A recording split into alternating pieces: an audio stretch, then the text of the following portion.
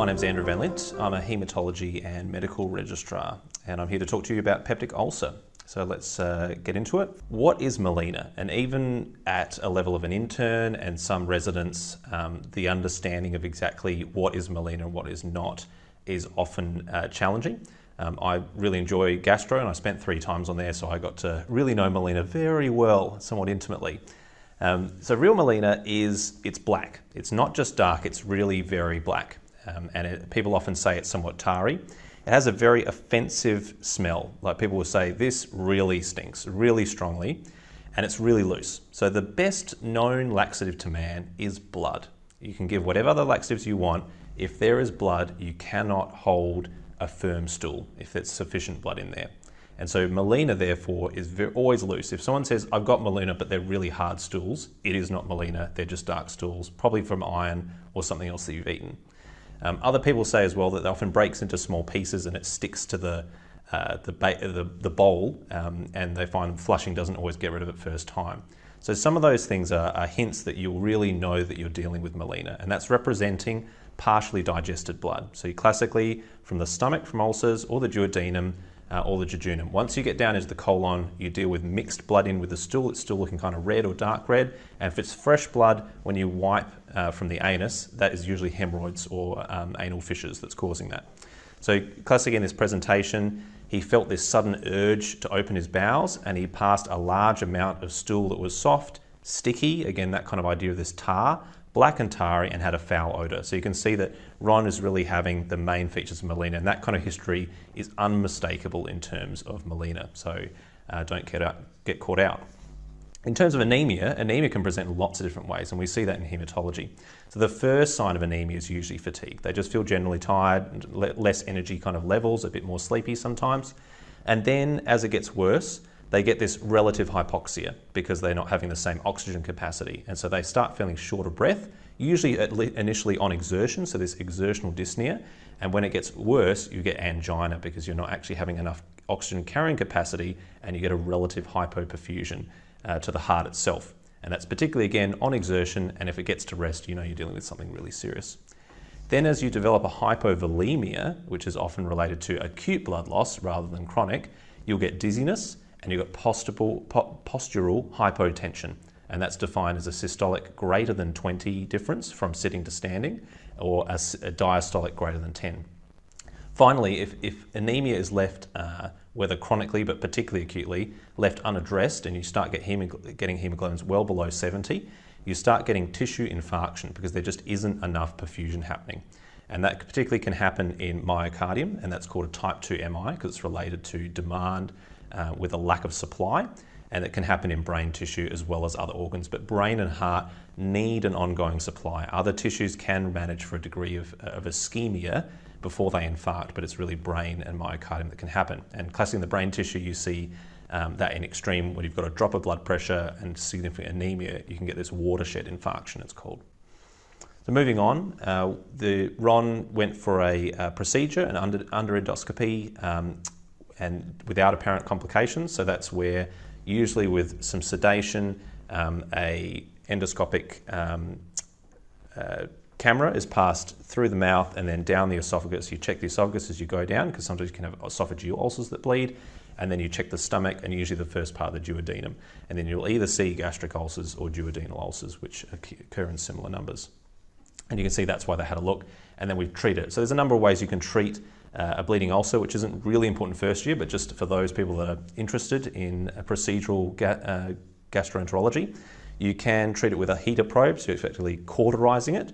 You can also inject adrenaline down an endoscopy as well, uh, and often the, the combination of those two are used, and then there's a couple of other probes. But if it gets really hard and it's still bleeding and you haven't been able to control it with adrenaline and a heater probe, usually that's a point that we start actually calling the surgeons in, and they may then do um, a, a, laparoscopic um, oversew of that particular part of the ulcer if required. So, in terms of peptic ulcers, like how common is this? And I think it's important to realize that peptic ulcer is a broad category that includes duodenal ulcers and gastric ulcers, and I suppose it could also include lower esophageal um, ulcers in that group. So, actually, duodenal ulcers are four times as common as gastric ulcers. And whenever I used to think of peptic ulcers, I used to always think of it bleeding in the stomach. And I was actually surprised when I went, okay, it's a ratio um, of four to one. That actually, most of the time, 80% of the time, you're going to have these duodenal ulcers. However, the bleeding rates may be different between those two, but duodenal ulcers is mostly what we're dealing with. 10 to 20% of patients with gastric ulcers also have duodenal ulcers at the same time. And maybe that's not surprising because the same kind of causative factors are usually at play. Overall, there's a lifetime incidence of about 10%. Um, so it's a really common thing that 10% of people at one point in their lifetime will have a peptic ulcer, whether they're symptomatic or not, whether there's complications or not. And peptic ulcer disease can contribute up to 10% of hospital admissions. So it's worth getting your head around because this is something that everyone will see. In terms of etiology, um, there's a big role of Helicobacter pylori, and that's something that um, uh, our university particularly was um, famous for helping discover in terms of the staff members that contributed to that. So 95% of duodenal ulcers are Helicobacter pylori positive. That's a huge amount. So that's 19 out of 20 versus about 70% of those with gastric ulcers. So whenever we find um, an ulcer, we, whether it's um, you know, having complications like bleeding, um, or if it's just causing some symptoms, we always check for Helicobacter pylori and then treat it if they're, if they're proven to have it. Those that have non-steroidal anti-inflammatory drugs can really predispose to bleeding because they inhibit the usual healing processes that go on in the upper part of the GI tract. If you're using high doses of steroids, that also impairs that uh, a similar pathway of healing. And so we often find for people that are on high dose steroids, which we do a lot in hematology and in critical care where I've worked before, we actually give them proton pump inhibitors, which is proven to reduce the effect of that causing ulcers. People that smoke also, uh, again, this idea of impairing, impaired healing process can have that. And those that are having severe illness, a lot of them are getting steroids, but the severe illness itself um, can contribute to ulcers.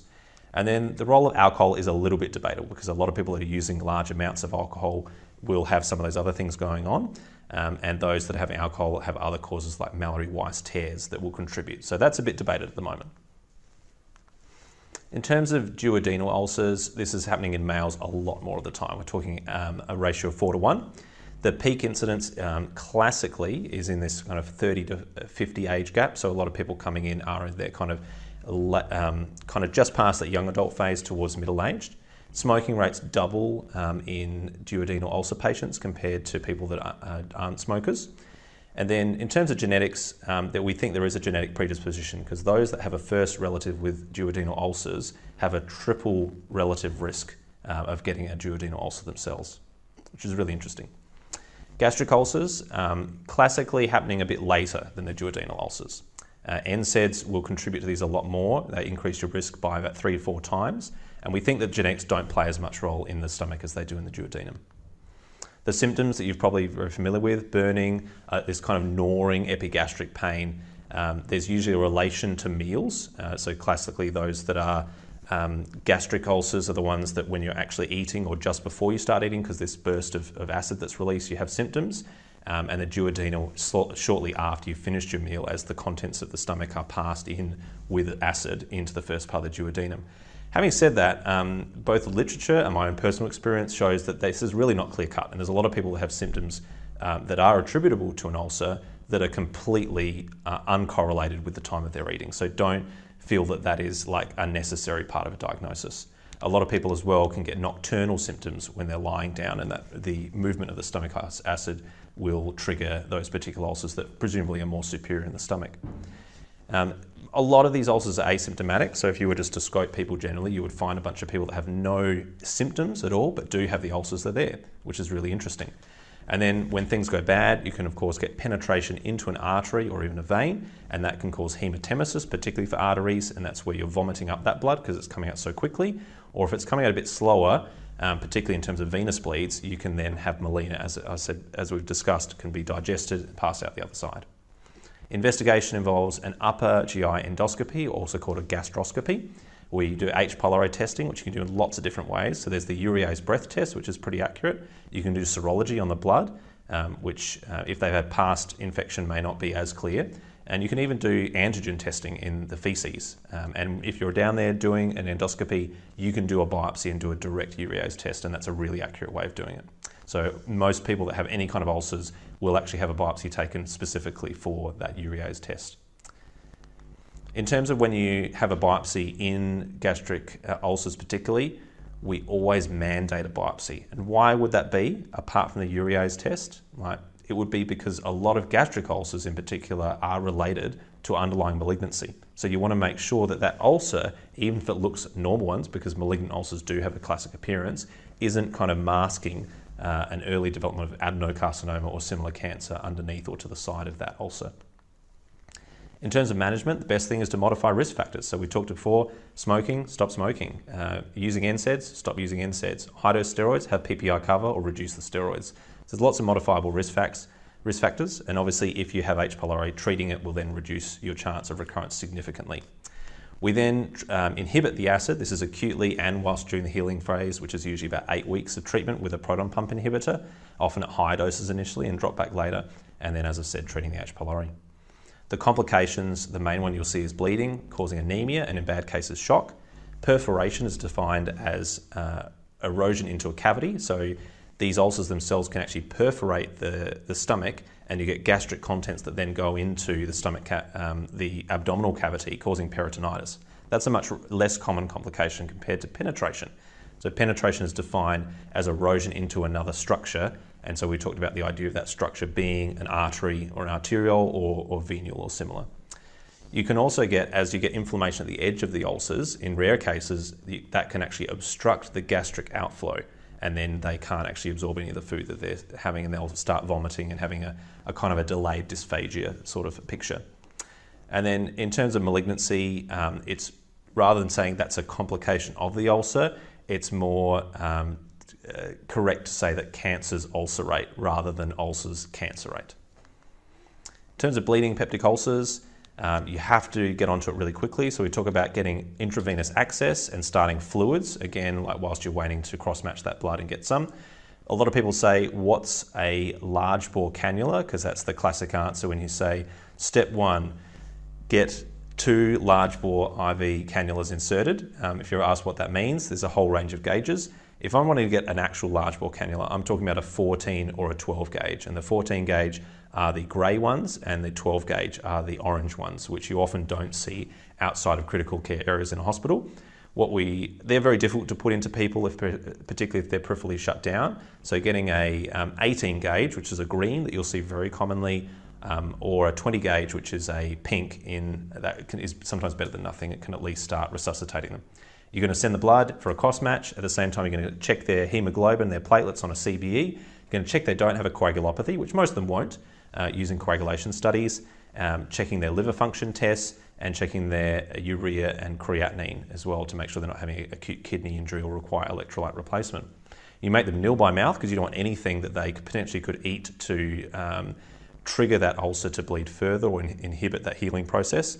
You suppress the acid production with an uh, intravenous proton pump inhibitor, classically pantoprazole, and then you arrange for an urgent upper GI endoscopy or if it fails, uh, a laparotomy or laparoscopy. So there's certain things that um, outside of the acute uh, region, if you see these red flags, you need to review, uh, refer them for quite urgent evaluation, potentially emergency or review the, within a week or two. Uh, and that will usually necessitate endoscopy. So you're referring to a gastro specialist. So if a patient is over 50 and have new onset of symptoms, we would be concerned that a malignancy can be contributing, therefore they need an endoscopy. Those that have dysphagia or trouble swallowing, that can indicate there could be a cancer uh, of the esophagus that needs to be excluded via endoscopy. If you've got symptoms that are not relieved by appropriate tr- treatment, as in proton pump inhibitors or, or lifestyle changes, then referring that because that may